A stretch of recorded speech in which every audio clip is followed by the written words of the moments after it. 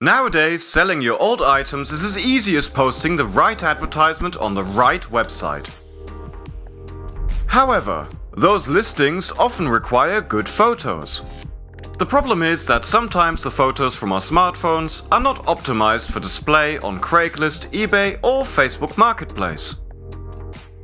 That's what we will explain in this tutorial. By the end, you will know how to optimize the photos for a store of your choice. To complete this tutorial, you need to use the Photo and Picture Resizer app. First we will examine the case of Craigslist, which is the most restrictive to images. You need a picture which is 600 by 400 pixels. Select the image, tap Resize, Let's choose Custom Resolution.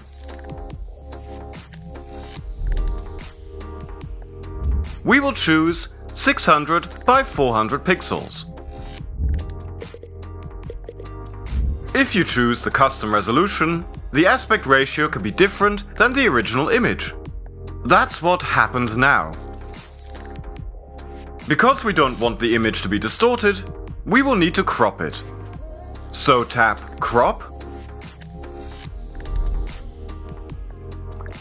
adjust the frame,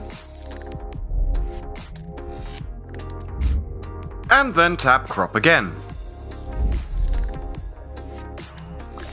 And that's it. That way you can resize all of the images you need for your Craigslist ad.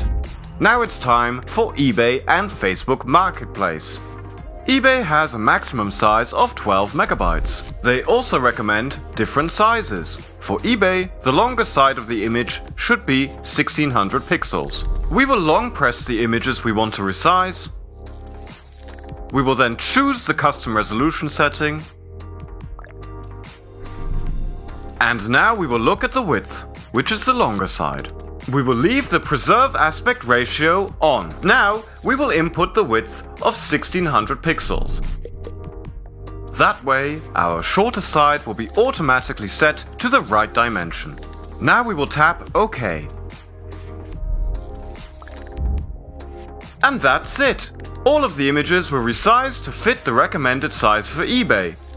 Lastly, we will show you the solution for Facebook Marketplace. Facebook Marketplace limits the image size to 30 megabytes, and its recommended size which is 1080 by 1080 pixels. That's why we will choose the option of crop instead of resize. We will tap resolution and we will choose 1080 by 1080 pixels. And then we will reposition the square to have as much of the product as possible and then we will click crop again. This way we have the image optimized for the Facebook Marketplace. And that's how you optimize images for Craigslist, eBay or Facebook Marketplace, right on your phone. We hope that this will speed up the process for you and allows you to sell your items as quickly as possible. If you want to start using the app right away, then follow the link in the description. And that's it! We hope you found this tutorial useful.